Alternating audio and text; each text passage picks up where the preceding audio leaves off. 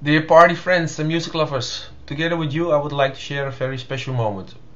A moment which you will not forget for a long time. It's only a few times in your life that you feel what's about to happen, it will be very unique. This time it's for me. As you will know, this last year has been very intense and had lots of ups and downs. But because of my friends, family and you and all the music, I've given it a positive twist and didn't lose myself. 20 December I will do an exclusive event. It's the pre-launch party of my album Forever Love. I started this album and I put all my emotions in it because it's a healing effect for me to express my emotions into music. 20 December I will do a 5 hour set. I would like to show you lots of exclusive tracks from the album together with Susana, Kim Kiona and Claire Steck.